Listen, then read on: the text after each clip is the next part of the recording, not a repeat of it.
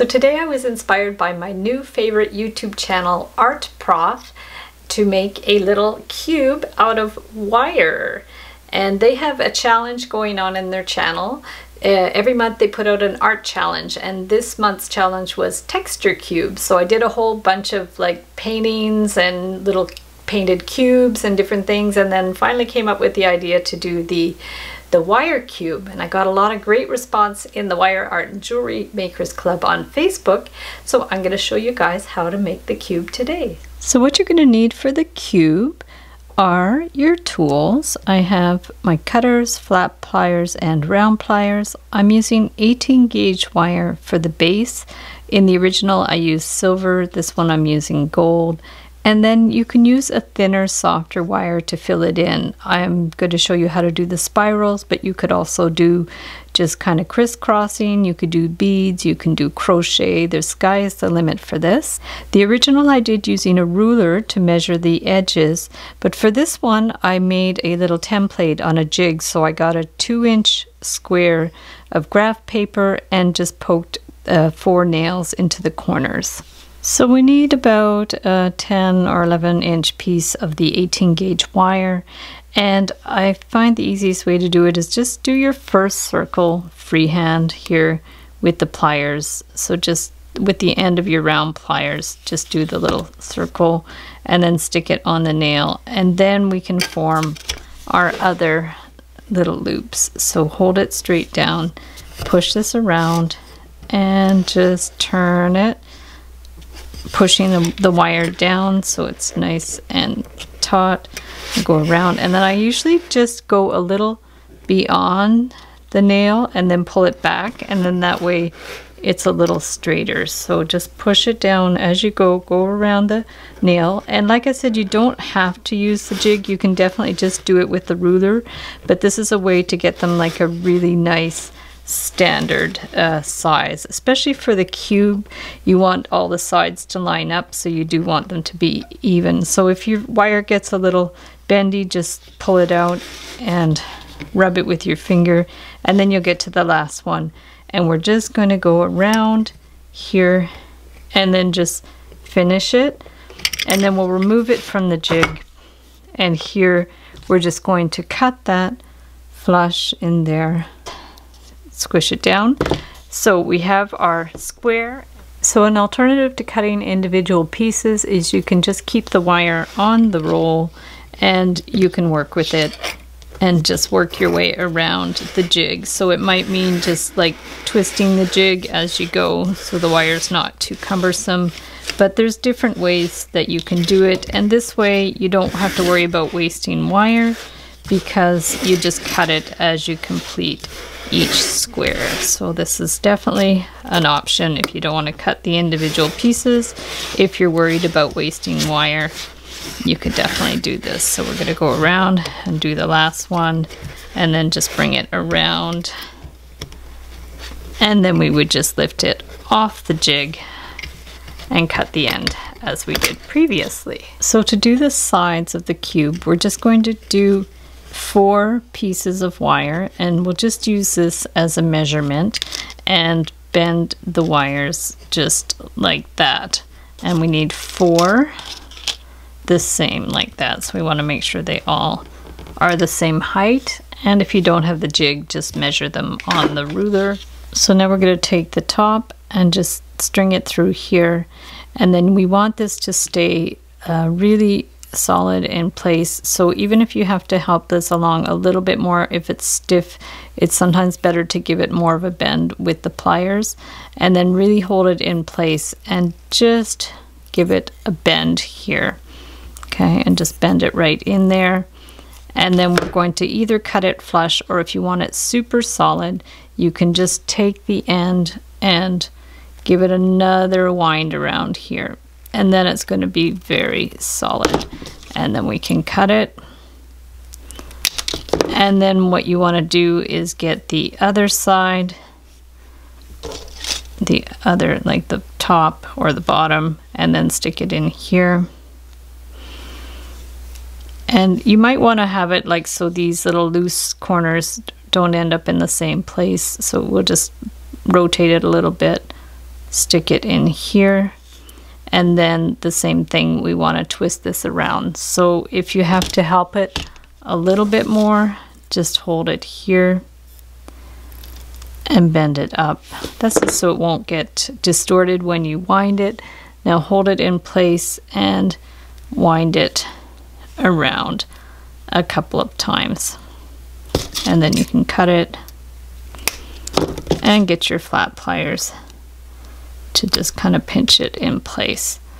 This can take some adjusting. So there you have your basic like side and then you want to do the other one. So now this one too, it's going to be a little wobbly.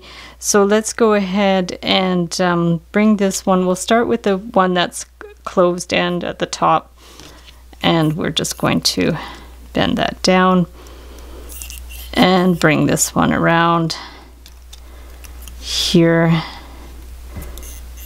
It's a little bit tricky to hold it in place. It slides a little bit, but that's why sometimes it's better to cut the wire a little long and then you have more to work with with your ends. I find when the ends are too short, it's there's not a lot of gra to grab onto. So there's this one. Now this, we're going to have to stick it through both of these wires. So let's go ahead and stick it through the bottom one first and then this one. So it's going to hold those two together. So we've stuck it through both of those and let's just make sure it's in the right position. Yeah, so we're just going to, same thing, we might want to help it a bit with the round pliers just to make it more of a, a curve there.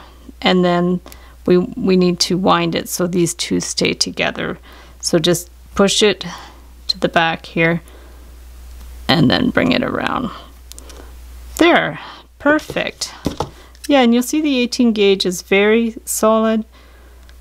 You could maybe get away with 20 gauge wire if you're if it's going to be a smaller size uh, cube. So the bigger the cube, the thicker the wire. So now you'll see it's a little bit maybe crooked, but at that point you can put it on the table and you can, you know, play around with it, smooth the edges if you have to, straighten it up.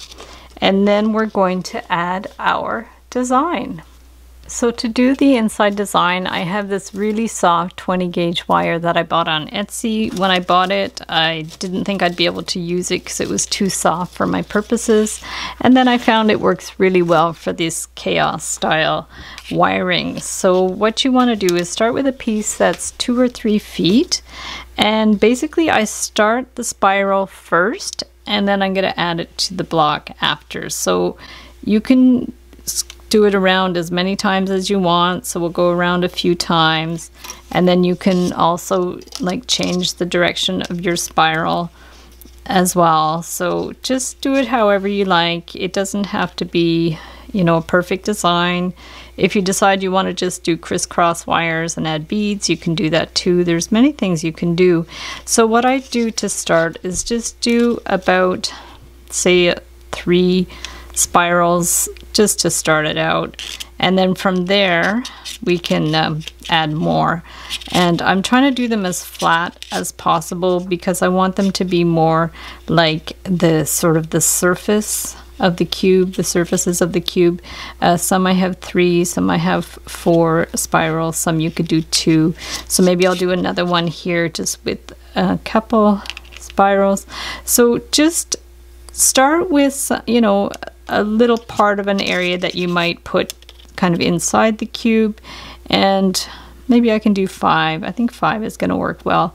So if we start like that, we just have a starting of a design and then you can take your cube and just add it on there and then we can build on that. So at least you have it started off and so when you go to add more spirals, you can add more wire, definitely. Don't worry about, you know, having the exact amount of wire for inside of the cube. So if we just start like that, say I just attach it here.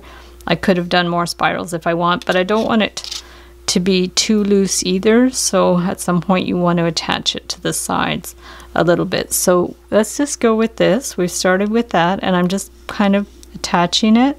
And then something that I did that I think is really a good idea is as you do your spiral, when you go like back to the side, loop it into one of the previous spirals. And that's just going to kind of like almost like sewing them together. It just makes it a little bit more solid.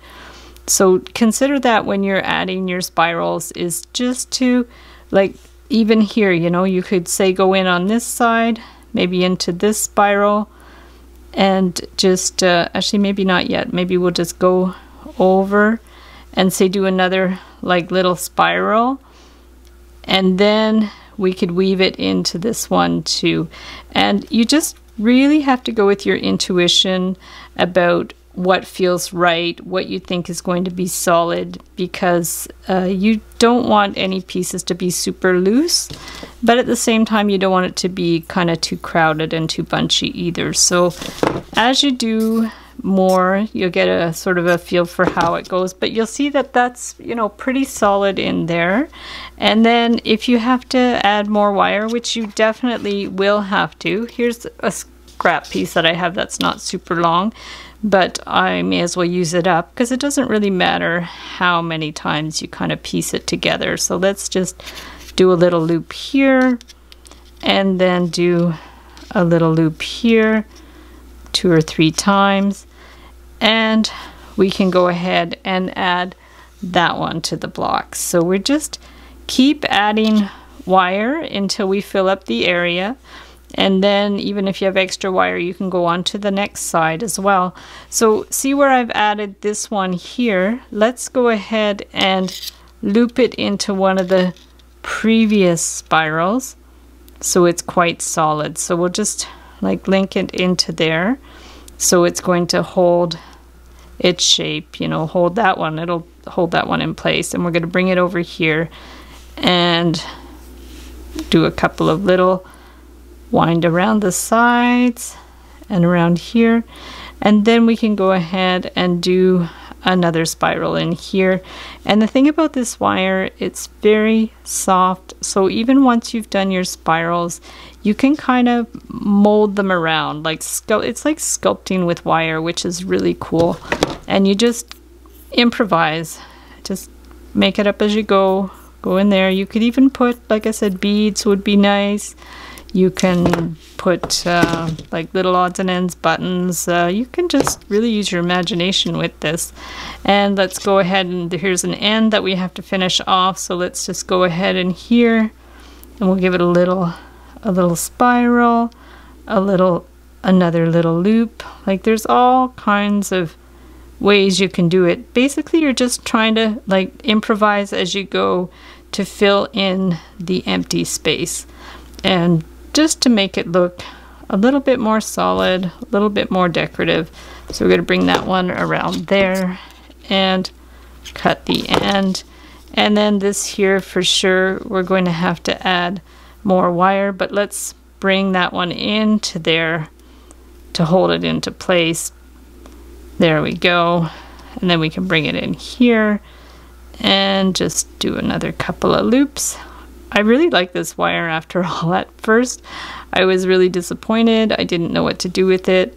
And I ended up giving quite a bit of it away and in some of my little kits and stuff as well. And then I realized, oh, I can actually use this. So sometimes you don't want to get rid of all your stuff because we always find a use for it after the fact. So see, we're still going with the one side. This is definitely a project that's a little more time consuming than some of my other projects but it's it's a really fun uh, exercise. It's a fun design. It's a cool like kind of home decor type uh, ornament and I think there's a lot that you can do with it and I'm really uh, excited to see what you guys are going to come up with with other ideas because I know especially in the in our group the wire art and jewelry makers club you guys are always coming up with some really really cool ideas. So let's go ahead and put this one in here.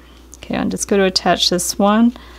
And if if I find that the end is uh, too long, it's okay. We're going to be able to do something with that after. But what I can see that I need to do is loop it actually into this one because this one's a little loose.